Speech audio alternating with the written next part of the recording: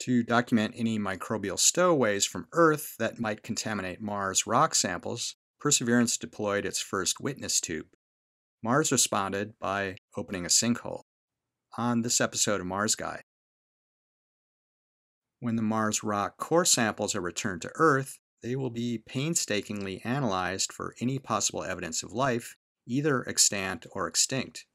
So, the Jet Propulsion Laboratory built the rover with the cleanest sampling hardware it has ever produced in order to achieve the 10 parts per billion sample cleanliness requirement. After all, finding microbes in these samples would be a profoundly important discovery, but not if they came from Earth.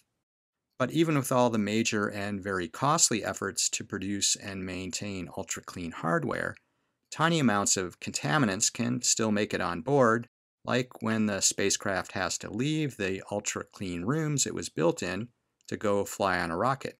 So that's where the witness tubes come in. They're the same as the regular sample tubes, but tightly sealed inside are materials that were cleaned and assembled at levels beyond the other sample hardware.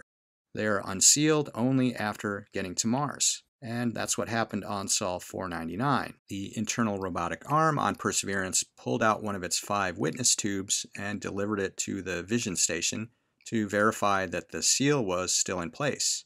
This was poked open at the Volume Probe Station and confirmed back at the Vision Station. Next, the witness tube went into the coring drill bit and out through the bit carousel into the waiting chuck in the corer on the end of the robotic arm. All of this happens without humans in the loop. And just to be sure the witness tube gets jostled around as much as the regular sample tubes, it went through the full coring sequence with rotary percussion action, which conceivably could knock loose any contaminants in the system. There's just no actual drilling into the rock. Still, all of the vibrations of this operation got translated to the rock, and that's where things got weird. This rock had been subjected to a grinding operation and two actual coring operations. Here's Mars Guy for scale. These operations generated a tiny sand avalanche and knocked loose some bits of rock. But note that the weirdness this time doesn't include the spacecraft tumbleweed that I presented in the previous episode.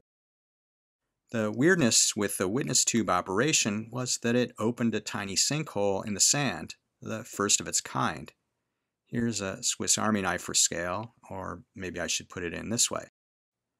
I suspect that vibrations finally set loose a flow of sand into an unfilled void space underneath. And no, this is not a Martian gopher hole. Perseverance continued its automated procedure, literally going through the motions of rotating and vibrating the bit as would be done with the rock core, then presenting the result to the Mastcam Z camera.